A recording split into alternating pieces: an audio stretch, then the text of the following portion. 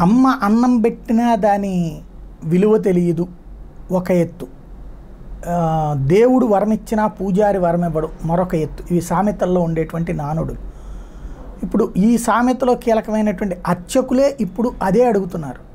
ఆ దేవుడు వరమిస్తే ఇక్కడ ఉన్నటువంటి పూజారి ఎందుకు జడగొడుతున్నారు అన్నాడు రా రాజశేఖర్ రెడ్డి పవర్లో ఉండగా అర్చకులు అందరూ చెప్పారు. ఏమంటే ప్రభుత్వ ఉద్యోగులుగా జీతాలు తీసుకుంటారు మాకేమో ఈ సంభావనలు ఏంటి లేకపోతే ఇదేంటి? మాకు జీతాలు కావాలని.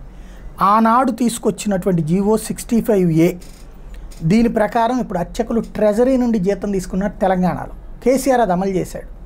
దాంట్లో గ్యాప్ వస్తే ఒక రెండు వందల కోట్ల రూపాయలు రాష్ట్ర ప్రభుత్వం నుంచి డబ్బులు కూడా ఇచ్చాడు. ఇవాళ అదే పని ఆంధ్రప్రదేశ్లో వచ్చేటప్పుడు చేయట్లేదు రాజశేఖర్ రెడ్డి గారి వారసుడు అయ్యుండి కూడా.